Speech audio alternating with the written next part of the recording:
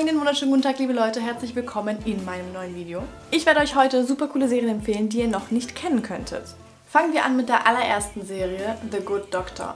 Spannende medizinische Notfälle, OPs, interessante Erkrankungen, noch interessantere Lösungswege. Man kriegt mich ja auf jeden Fall mit so Medizinstuff, Leute. Das ist absolut mein Thema. Ich fand auch Dr. House super und wenn ihr auf Dr. House steht zum Beispiel, werdet ihr die Serie auch lieben. Es geht so ein bisschen in die Richtung Dr. House mit dem riesengroßen Unterschied, dass der Protagonist ein junger Assistenzarzt ist und gleichzeitig Autist. Er hat also nicht nur generell als Assistenzarzt schon Probleme und Herausforderungen. Er wird gerade anfangs auch nicht akzeptiert oder für voll genommen und aufgrund seiner Erkrankung anders behandelt. Es stellt sich auf jeden Fall heraus, dass der junge Assistenzarzt Arzt einiges auf dem Kasten hat. Natürlich sagt der Protagonist hier und da aufgrund seiner Erkrankung unangebrachte Dinge, weil ihm das Empathievermögen fehlt. Es geht also einerseits um die Frage, kann ein Autist ein guter Arzt sein? Und andererseits werden unfassbar viele andere Dinge behandelt. Unter anderem die Lebensgeschichte von Sean, dem Protagonisten, bei dem auch in der Vergangenheit sehr viele Dinge vorgefallen sind, die sein heutiges Verhalten teilweise erklären. Alles in allem, Leute, wenn ihr Dr. House mögt und auf solche Serien steht und gerne miträtselt und auch dieses medizinische Wissen interessant findet,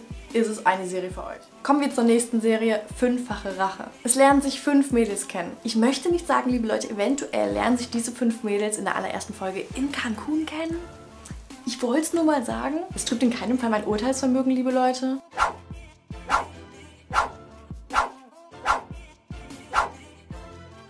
Diese Serie fällt volle Kanne in mein Beuteschema, liebe Leute, in mein Serienbeuteschema. Ich liebe spannende Serien, wo man Geheimnisse hat und Rätsel zu lösen hat.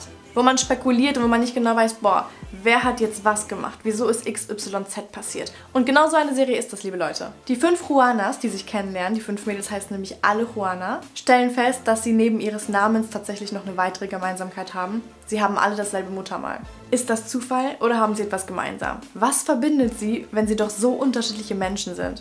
Die Unterschiede könnten nicht größer sein. Die eine ist zum Beispiel Stripperin in der Serie und die andere Nonne. Sie haben also komplett andere ethische Vorstellungen, andere Berufe und charakterlich könnten sie nicht verschiedener sein, Leute. Jedenfalls wird dann angefangen in der Serie richtig tief in der Vergangenheit zu wühlen und zu graben, so lange bis man auf das ein oder andere Geheimnis stößt.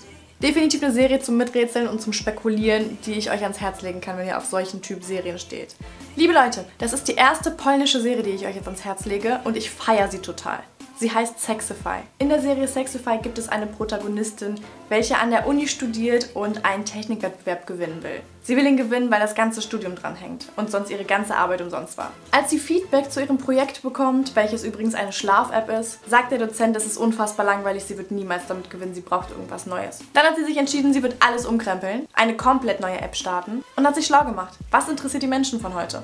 Sie hat herausgefunden, dass alle anderen Studenten nur über Sex und Orgasmen reden. Dann hat sie sich gedacht, okay, ich entwickle jetzt eine App. Alle Frauen sind unzufrieden. Wir müssen doch irgendwie den Orgasmus verbessern und revolutionieren können oder etwa nicht. Das Ding ist, dass sie selber gar keinen Plan von diesen ganzen Sachen hat. Diese Serie, liebe Leute, ist unfassbar lustig. Ich habe so viel gelacht, ihr könnt es euch nicht vorstellen. Falls ihr jetzt Polnisch-Muttersprachler seid, würde ich euch empfehlen, auf Polnisch zu gucken. es war so lustig, es war so lustig, liebe Leute. Ich kann es euch nur empfehlen. Auch auf Deutsch ist es ziemlich lustig gewesen. Ich habe dann auch nochmal ein paar andere Menschen gefragt, die mir auch gesagt haben, mega, mega lustig. Die nächste Serie, die ich euch gerne vorstellen möchte, ist zum Mitraten, zum Miträtseln und Mitdenken. Wer hat Sarah ermordet? Sarah ist tot, so viel steht fest. Der Mord an Sarah wird ihrem Bruder in die Schuhe geschoben. Stimmt das? Er behauptet felsenfest, er war es nicht. Er leitet alles in die Wege, um das zu beweisen. Gerade am Anfang der Serie geht es darum, wer Sarah ermordet hat. Das ist das Hauptthema. Doch die Serie wird tiefgründiger. Anfangs ging es darum, wie konnte es dazu kommen, wer ist der Schuldige, was ist passiert. Doch die Serie entwickelt sich, liebe Leute. Die Serie bringt mit der Entwicklung auf jeden Fall die Zuschauer an seine Grenzen. Der Zuschauer wird gezwungen, Sarah als Person zu hinterfragen. Was für eine Persönlichkeit hatte sie? War sie vielleicht mit Schuld an dem, was passiert ist? Was hat sie ausgemacht? Was für eine Vergangenheit hatte sie und die anderen Persönlichkeiten? Ich kann euch nicht mehr sagen, liebe Leute. Nur so viel. Es ist unfassbar spannend. Man will einfach nur noch wissen, was passiert ist. Und einem werden immer so Fetzen zugeworfen, dass man sich selber eine Theorie aufstellt. Dann spekuliert man, wenn man die Serie mit anderen schaut, dann diskutiert man und debattiert man, boah nein, der und der war das, nein, die und die, nein, das und das ist passiert. Aber was, wenn XY passiert ist? Unfassbar spannend, super gute Serie zum Zusammenschauen. Kann ich nur empfehlen, liebe Leute. Meine letzte Serie, die ich euch gerne empfehlen würde, ist das Damen Gambit. Es wurde mir so oft empfohlen, ich dachte mir so, ja, keine Ahnung, es spricht mich irgendwie noch nicht so ganz an, ich weiß noch nicht. Dann habe ich so vorsichtig auf meine Liste gepackt, habe es mir dann irgendwann angeschaut und war hin und weg, Leute. Die Serie ist unfassbar gut gemacht. Selbst wenn man kein Schachfan ist, kann die Serie einen mitreißen. Jetzt habe ich schon gespoilert, ne? Beth ist die Protagonistin in dem Drama, in welchem es auch sehr viel um Schach geht. Beth ist in einem Waisenheim groß geworden, weil ihre Eltern gestorben sind. Die Serie spielt ein paar Jahrzehnte in der Vergangenheit. Das führt dazu, dass es im Heim früher noch anders ablief und man in der Serie den Kindern Betäubungsmittel gab, damit sie ruhig gestellt wurden. Bei Beth haben die Pillen ein bisschen anders gewirkt. Sie ermöglichten ihr eine komplett neue Sicht auf alles. Als sie dann zufällig angefangen hat, Schach zu lernen und zu spielen, haben die Pillen ihr geholfen, viel besser zu werden. Irgendwann wurde sie adoptiert und sie wurde größer und irgendwann noch erwachsen. Alles, was in der Serie passiert, hangelt sich an dem Schachthema entlang.